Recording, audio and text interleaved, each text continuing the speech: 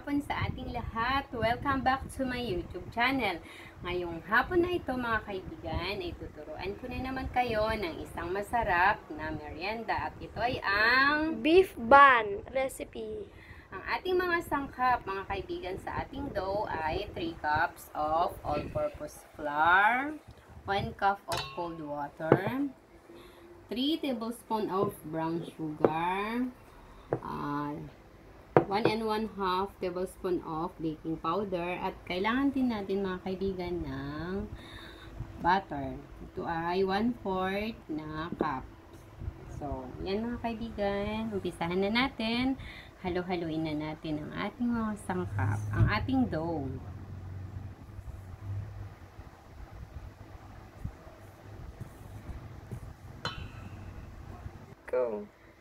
So, ayun mga kaibigan, umpisahan na natin. Ilagay natin ang asukal. Haluin natin. Tapos, ilagay natin ang ating baking powder.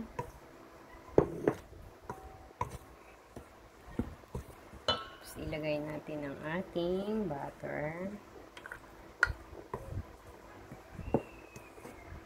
Mga kaibigan, mamaya kakamayin na natin. Kasi, mas maganda kung pinakamay. Mas, ma, mas mahalo natin ng mabuti. Yan. Tapos, ilalagay natin dahan-dahan ang ating tubig.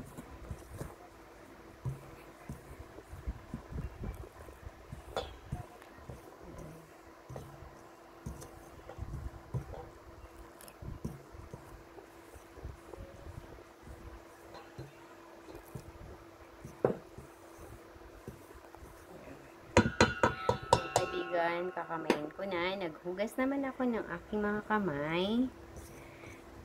So, ayan. Para mas mahalo nating mabuti.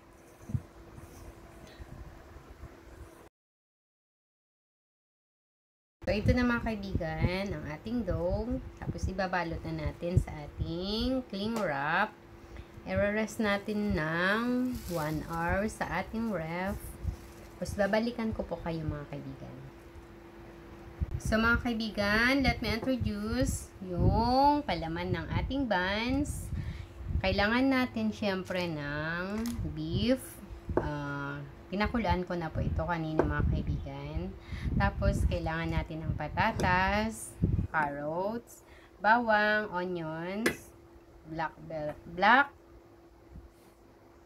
Pepper. pepper, pamin, paminta, at saka lalagyan ko po ng pineapple. Siyempre, kailangan natin ng magic sarap para sumarap. Mga kaibigan, siyempre igigisa natin mamaya. Kailangan lagyan natin ng mantika. Pero hindi ko na po dinala dito. So, ayan mga kaibigan, samahan nyo ako. Igisa na natin ang ating palaman sa ating beef buns. At mga kaibigan, igigisa na natin ang ating magiging palaman. So, una natin nilagay ang ating bawang. Siyempre, nilagyan ko ng konting mantika.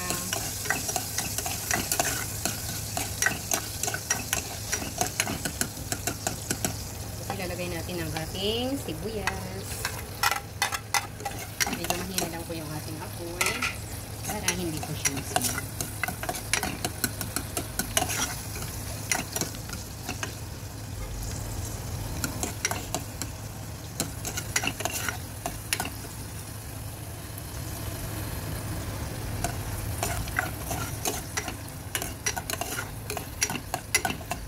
Hintayin natin medyo mag-brown. Tapos ilalagay na natin mamaya yung ating beef.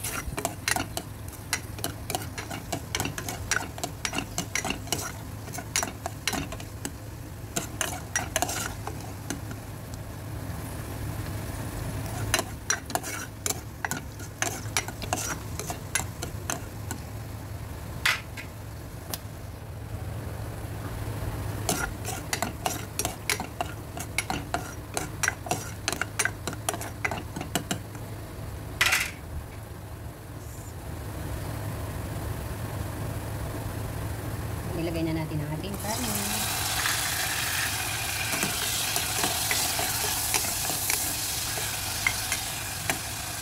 Lagyan natin konting paminta.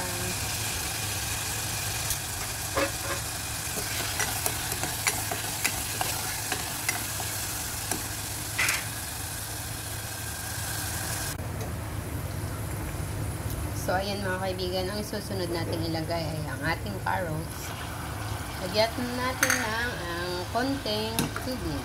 Lagyan natin ng konting tubig mga kaibigan para maluto siya.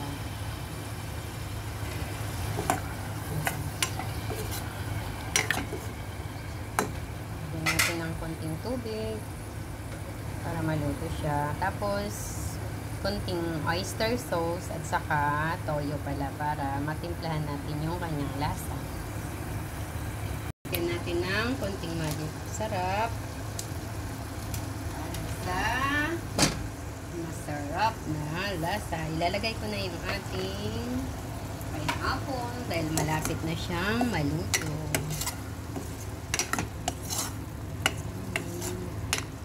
So, maya-maya mga kaibigan, mga 2 minutes, naluto na yan. Tapos ilalagay natin sa ating, isa-set aside natin sa ating bowl. Ito na mga kaibigan, hatiin na natin ang ating dough.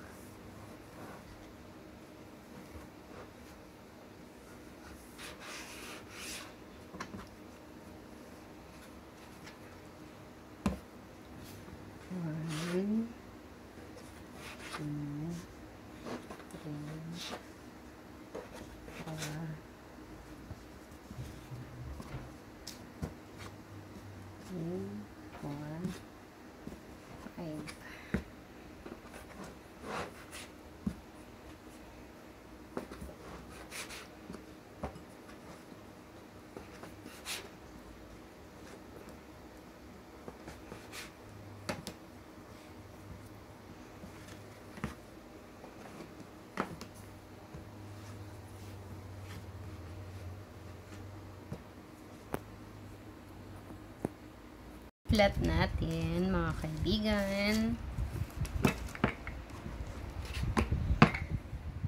Saka natin bibilugin. Tapos, lalagyan natin ng palaman. So, ganyan lang. Tapos, uulit-ulitin lang natin. Tapos, iluluto na natin siya mamaya.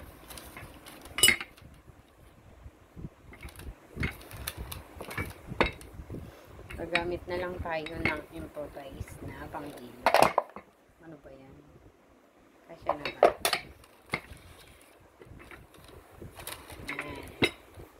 Pangmasa. Pangmasa yung ating ano. Ating tinapay. Ayan. Ibibilog na natin siya. Ayan.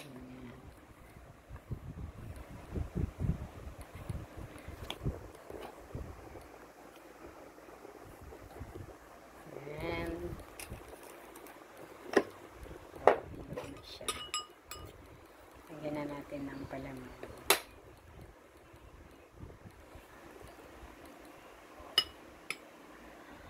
Para may twist, lagyan natin ng cheese. Diba? Tapos ibibilog na natin siya.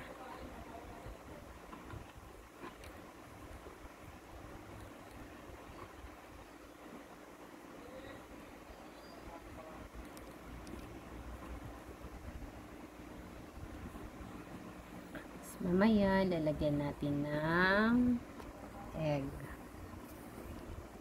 Ibabrush natin. Yun na siya mga kaibigan. Ayan. Gagawin pa tayo ulit. Yan, o, ulit-ulitin lang po natin ang proseso. Ipa-flap natin. Tapos, saka natin huhuluman ng bilog.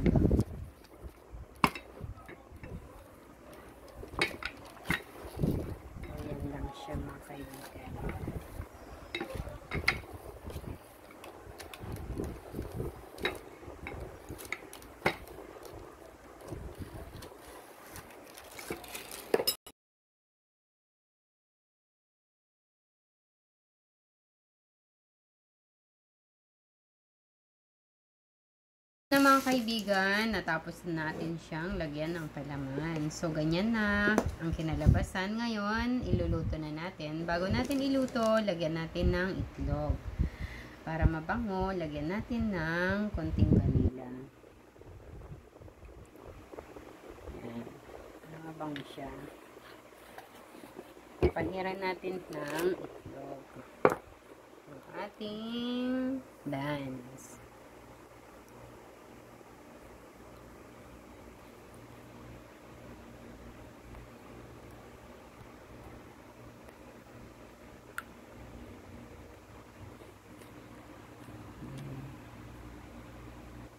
para mabango siya at para magiging shiny siya mamaya.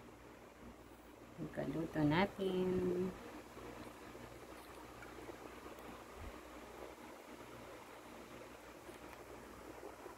Tingnan ko ano ating gagawin.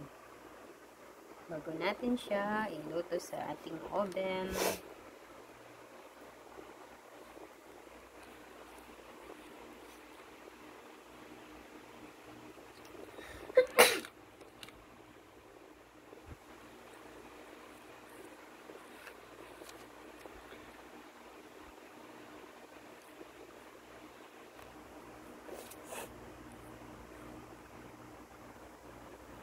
So, ayan mga kaibigan, iluluto natin sa 160 degrees Celsius ng 25 minutes. Tapos, babalikan ko po kayo mga kaibigan.